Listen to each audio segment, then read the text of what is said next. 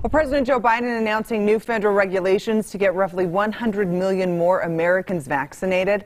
The president saying the pandemic is lasting longer than expected and has a six point plan to end it. Tonight, Republicans pushing back, saying the requirements are not legal.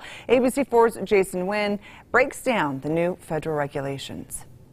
The bottom line we're going to protect vaccinated workers from unvaccinated coworkers. President Joe Biden says nearly 100 million Americans, a quarter of the country, are unvaccinated. But what makes it incredibly more frustrating is that we have the tools to combat COVID 19, and a distinct minority of Americans, supported by a distinct minority of elected officials, are keeping us from turning the corner. With new tools Thursday night, the president is requiring all federal workers and contractors to get a COVID 19 vaccine. Any company with more than 100 employees will also need to show proof of vaccination or have employees get tested once a week. In Utah, officials with Workforce Services say it affects more than 2,000 companies. If you want to work with the federal government and do business with us, get vaccinated.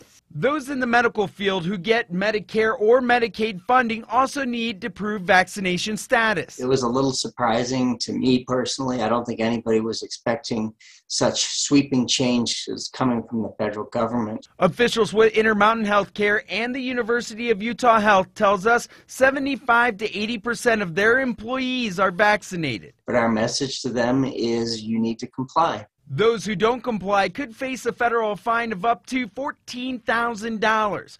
Governor Spencer Cox agreeing with vaccination efforts, but tells us we have serious concerns about the legality of the order. Attorney General Sean Reyes says his team is reviewing the proposed regulations. COVID testing a big concern, and for the next three months, the president says Amazon, Smith's, and Walmart will sell kits at cost. More coronavirus tests will head to pharmacies, community centers, food banks, and school districts free of cost.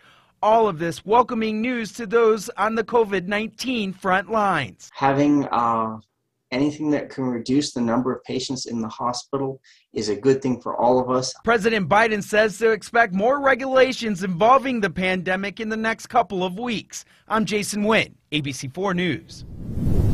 President uh, Biden also announcing there will be larger penalties for people who do not comply with mask mandates on airlines. The president calling out the rise in unruly passengers on planes, saying the anger towards flight attendants doing their jobs is wrong. This comes just days after an unruly passenger was captured on video shouting at flight attendants on a Salt Lake City bound flight. Tonight, I'm announcing that the Transportation Safety Administration, the TSA, will double the fines on travelers that refuse to mask. If you break the rules, be prepared to pay.